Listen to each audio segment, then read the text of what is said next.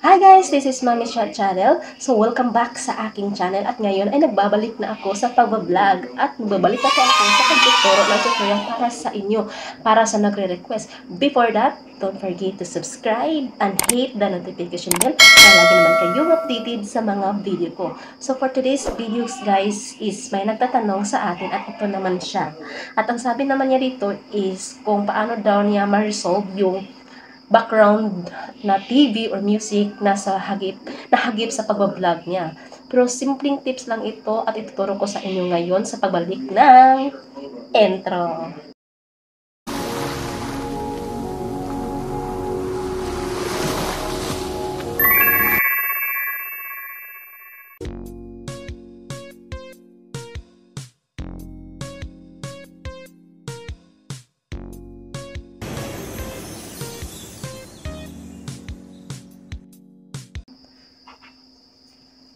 So, para maiwasan natin guys, is magbablog po tayo ng walang maingay, maiwasan natin yung mga music or mga TV dahil mag-epekto po ito sa ating pagbablog dahil pag mahagip natin yan guys, posibleng mag copyright claims po tayo or may mga violation po tayo. Katulad sa akin, no?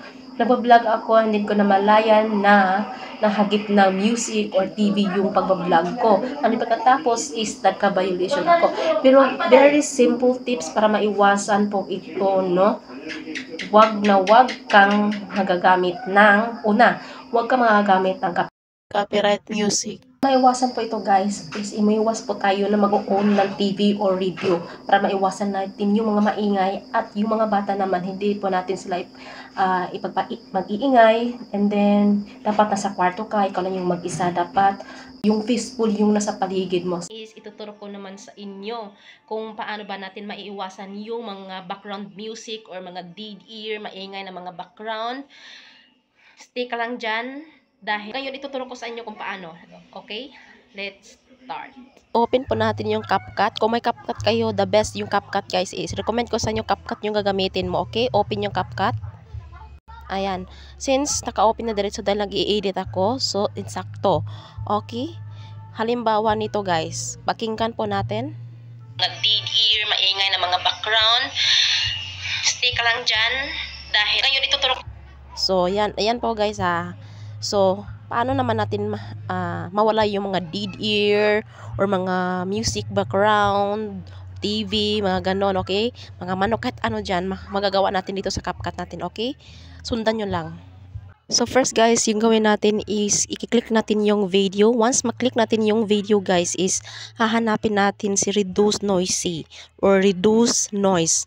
Yan po ang the best gawin natin kapag may nahagi po tayo mga music background or TV background or kahit maingay. Pro, kahit uh, disclaimer lang guys ha, pero hindi natin maiiwasan yung maingay kasi nasa bahay tayo, uh, maingay yung bata or mga hayop.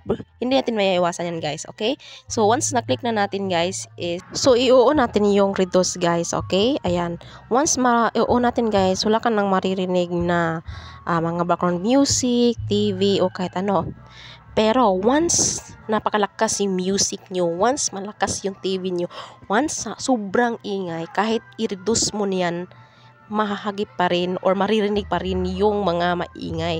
So, the best gawin mo guys is pumunta ka sa mas peaceful na lugar. Para maiwasan natin yung mga background music, background na TV o kahit ano mga dead ear, is dapat ikaw lang yung mag-isa na mag-vlog tulad na nasa kwarto ka, walang bata, walang magkukan ng TV, walang radio, or walang music. Ganun lang, ganun lang kasimple. At din mag-iwasan natin yung mag-upload ng mga vid, uh, music na may copyright claims. So, I hope na nakatulong ito para sa iyo, ma'am. And guys, I hope nag-enjoy kayo sa video ito at marami kayong natutunan. So, don't forget to subscribe and hit mo na rin ang notification bell updated sa mga video ko. I hope nag-aabag kayo sa mga sumusunod nga video at mag-request kayo kung ano yung request niyo about sa mga tutorial tips. Hanggang sa muli, bye-bye!